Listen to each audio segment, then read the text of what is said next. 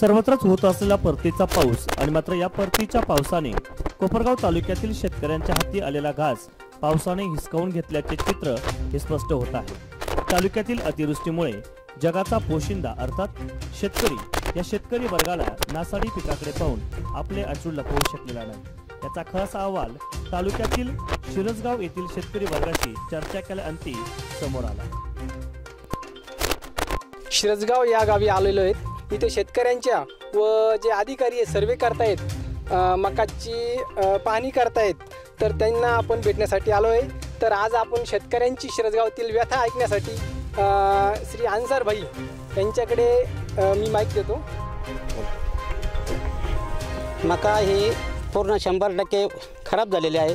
त्याचे शंभर टक्के पंचनामे करून मिळावे हीच आमची मागणी. कपाशीचे पंचनामे घेत नाही कपाशीत सुद्धा पंचनामे घेतले पाहिजे असं? शेतकरी असून कृषी मार्फ कृषी अधिकाऱ्यामार्फत जे पंचनामे चालू आहे काढणी काहींचे पिके काढ काढणी झालेली पण त्यांनी गंजी खाली झाकून ठेवलेले त्याला पूर्ण असे शंभर टक्के मोड आलेले त्याच्यामुळे ते देखील पंचनामे झाले पाहिजे. दुसरी गोष्ट काहीच्या बाजारात सोंगून गेल्या पण त्याला कोणी पाचशे रुपयानं सुद्धा क्विंटल ती बाजरी कोणी घेत नाही.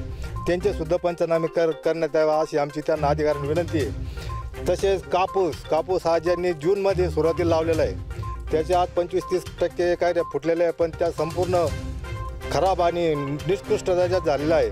तर त्या अधिकाऱ्यांना तर आम्ही त्यांना विनंती केली की तुम्ही कपाशीचे पंचनामे करा. पण ते म्हणते जर दोन एकर क्षेत्र असलं तर आम्ही एकच हेक्टरचा पंचनामा करू.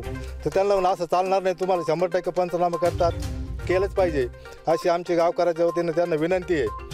तर आपल्या चॅनलमार्फत मी त्यांना कळकळीची विनंती करतो. टी फोर चॅनल आज हा शेतकऱ्यापर्यंत या ठिकाणी आलेले आहे त्याबद्दल मी त्यांचे आभार मानतो आणि तुमच्या माध्यमातून या ठिकाणी मी सरकारला बी विनंती करतो की आमचे जे पिकांचे जे नुकसान झालेलं आहे हे जवळजवळ सुरुवातीला त्या ठिकाणी मका या पिकाचं पंचवीस टक्के नुकसान हे लष्करी आळीनं झालं. त्यानंतर या अ, पावसामुळे या ठिकाणी आणखीन पन्नास टक्के नुकसान झालं. म्हणजे आज जवळजवळ पंच्याहत्तर ते ऐंशी टक्के नुकसान झालेलं आहे. त्यामुळे आम्हाला याची अ, पूर्ण अशी अ, नुकसान भरपाई या ठिकाणी अ, शासनाकडून मिळावी अशी मी आपल्या चॅनलमार्फत सरकारला विनंती करतो. आणि अधिकारी वर्गाने देखील सहका शेतकऱ्यांना सहकार्य करावं आणि पुरेपूर जे पीक असेल मका असेल कपाशी असेल सोयाबीन असेल कांद्याचं रोप असेल म्हणजे जे पीक असेल शेतामध्ये त्याचे पूर्ण पंचनामे या ठिकाणी करावे.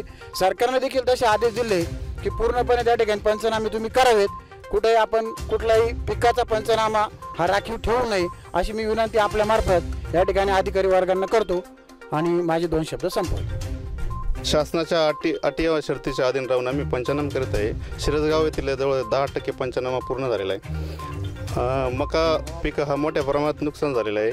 मक्याबरोबर सोयाबीन आणि बाजरी हे मोठ्या प्रमाणात म्हणजे जवळ एक पन्नास टक्क्याच्या पुढे नुकसान आहे. आणि कापासाची कपाशी टक्केवारी फार कमी म्हणजे तेहतीस टक्क्याच्या आत आहे. ज्या प्लॉटचे तेहतीस टक्क्याच्या पुढे नुकसान झाले त्याचे आपण घेतलेले पंचनामे.